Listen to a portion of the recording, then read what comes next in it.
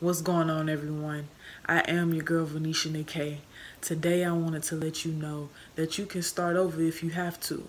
I seen a post that said that about a year or two ago that made me feel better with starting at the beginning again.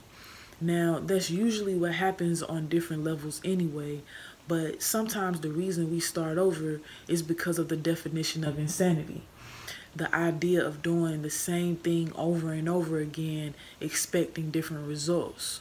So now, once we figure out that that's not working, what do we do?